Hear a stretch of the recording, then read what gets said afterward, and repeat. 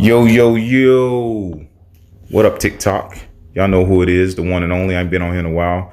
Today, we're about to go over a list of Army boots. All right. Um, I'm going to go over each pair. I'm not going to explain why I like them.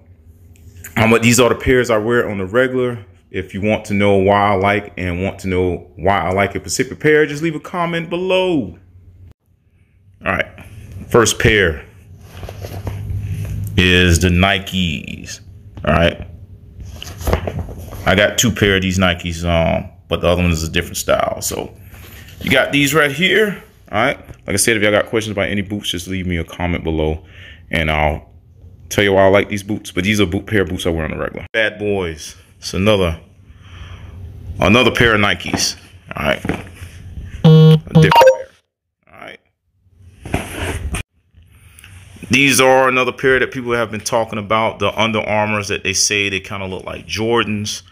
Uh, they kind of look like Jordans to me, but uh, these boots are really comfortable. I can I can see the, the little sign on the the bottom. All right, but uh, yep, these are the Under Armour boots. All right, these are these new style Oakleys. All right, the new style Oakleys, aka nickname. A lot of people say they the spaceman spaceman boots. All right, but this is another pair of boots I wear. And I know a lot of people know these. These are the old style Oakleys. Um, I will say a little bit of comment like these about these boots. These boots feel like tennis shoes. Like they're very, very lightweight. As you can see, these are worn down because these are the main ones I like to wear on ruck marches. And here we got the Rockies. All right.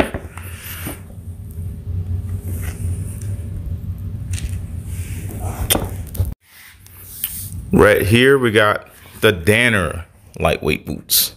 All right. Danner lightweight boots.